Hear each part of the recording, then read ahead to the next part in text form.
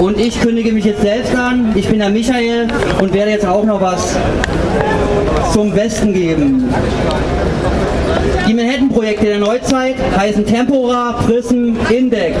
Ihre Zerstörungskraft ist schleichend und nicht sofort sichtbar und beinhaltet nichts anderes als die potenzielle Möglichkeit, jegliche Systemkritik, die als Gefährdung des Status quo interpretiert werden kann, im Keim zu ersticken.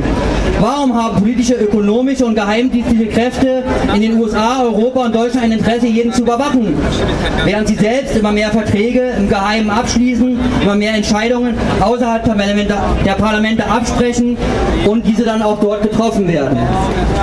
In den USA werden bereits 8 Millionen Menschen, nimmt man dasselbe Verhältnis für Deutschland, dann wären das hierzulande 2,5 Millionen Menschen in einer Liste als terrorverdächtig geführt. Darunter befinden sich kritische Journalisten, Wissenschaftler, Politiker, politische Aktivisten von zum Beispiel Amnesty International. Wer hier in Deutschland steckt auch schon in solch einer Kartei? Und was soll mit jedem, die darin geführt werden, passieren, wenn sie sich stärker zu Wort melden als bisher oder mehr mediale Aufmerksamkeit erhalten? Sterben sie dann auch, wie letztens der investigative Journalist Michael Hastings an einem Autounfall, nachdem er die Wikileaks-Anwältin Jennifer Robinson am Telefon gesprochen hatte und seine Befürchtung äußerte, das FBI beschatte ihn. Es wäre heutzutage höchst naiv anzunehmen, dass es eine solche Akte nicht gibt.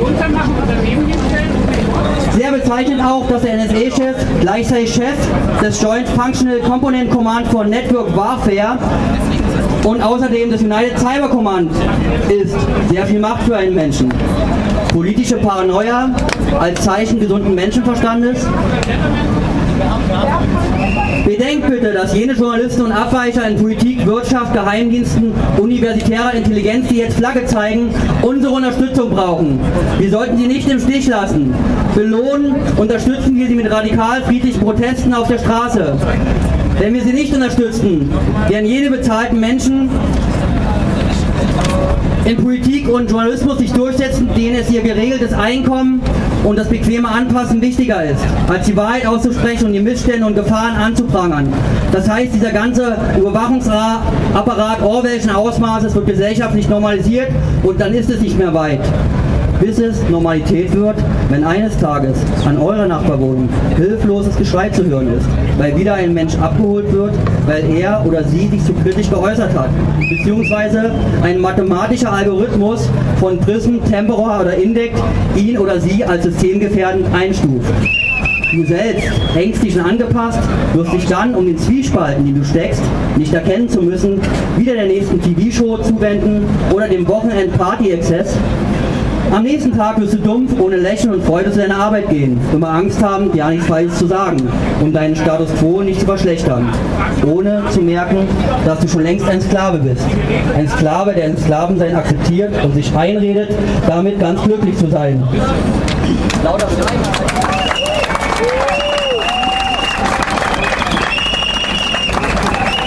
Aber dies soll uns keine Angst machen, vielmehr die Dringlichkeit aufzeigen, wie wichtig dieser und der darauffolgende Protest ist. Angst brauchen wir nicht zu haben, weil das System nervös regiert, reagiert. Und außerdem, Angst ist der rote Teppich für den Mut. Jenseits der Elfenbeinturmversprechen unserer Machteliten und den ideologischen Fahnen, die euch in ein neues Korsett stecken wollen, gibt es nur eine Frage, die du dir persönlich stellen musst. Und die lautet, was willst du für dich, deine Kinder, deine Freunde? Freiheit oder Angst? Es ist Zeit, sich zu entscheiden. Geht auf die Straße und redet mit euren Mitmenschen, bildet Netzwerke, unterstützt euch, nehmt euch auf gegen alles, was euch eure persönliche Freiheit nehmen will. Egal, ob es euer Boss ist, euer Vermieter, eine staatliche Bürokratie, krankmachende Lebensmittel oder irgendwelche Überwachungs- und Kontrollsysteme. Beschäftigt euch mit euch selbst und eurer Umgebung. Hinterfragt euch, in welcher Welt und wie ihr leben wollt und was ihr dafür tut. Erinnert euch an eure Träume.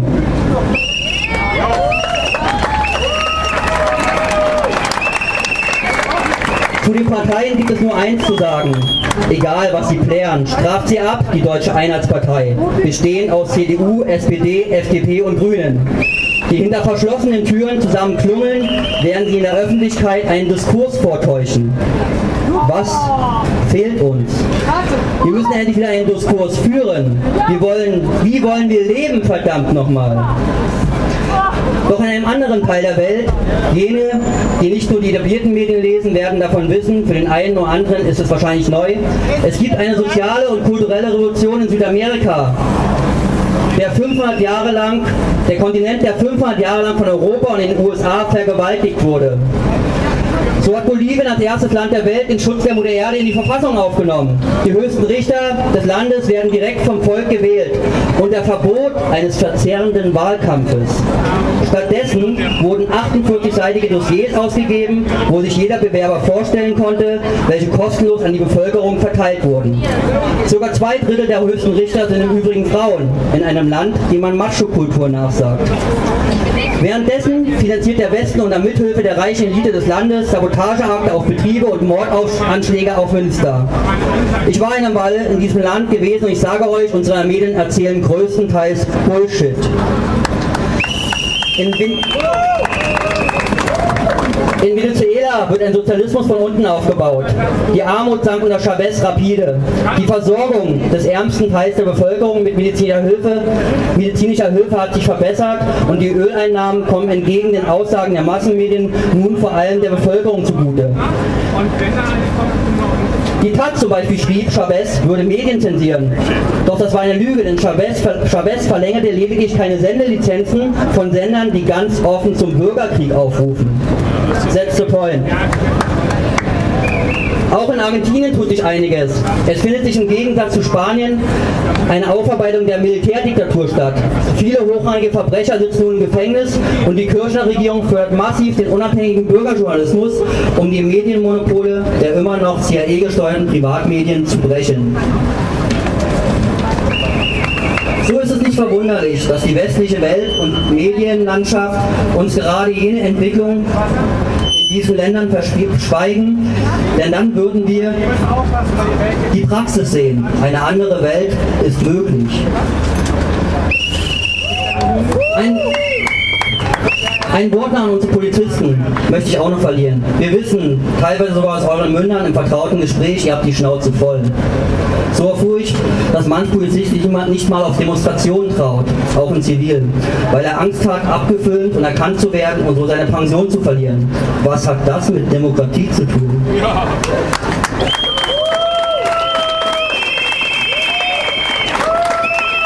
Habt ihr nun Befehle hinsichtlich eures Gewissens zu überprüfen und bedenkt, ihr dient dem Volk, nicht der Politiker und Finanzmafia.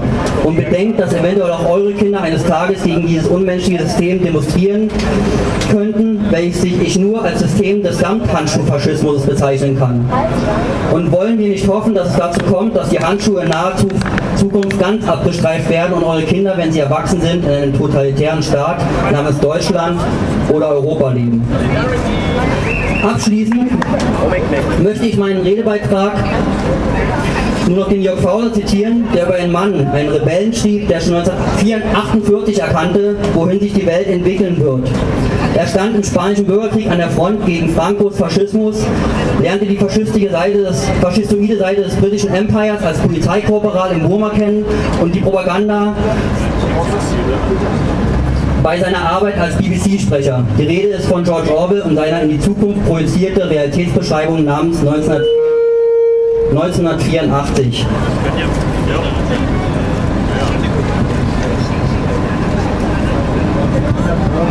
So, mal kurz im Inhaltsverzeichnis schauen.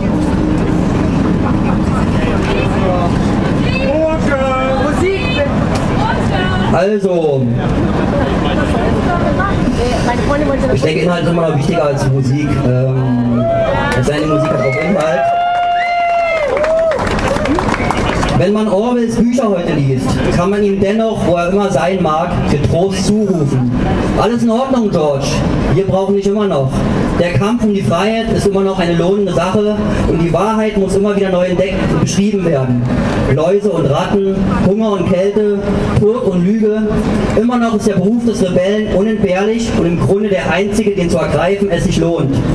Auch 1985 wird es Anarchisten geben, in Fußnoten und anderswo.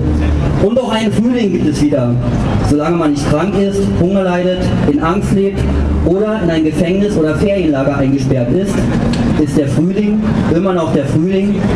In den Arsenalen türmen sich die Atombomben immer höher, Polizei patrouilliert durch die Städte, eine Flut von Lügen entströmt den Lautsprechern. Aber unbeirrt umkreist die Erde die Sonne und alle Diktatoren und Bürokraten, so sehr sie den Vorgang missbilligen, sind nicht imstande, ihn zu verhindern.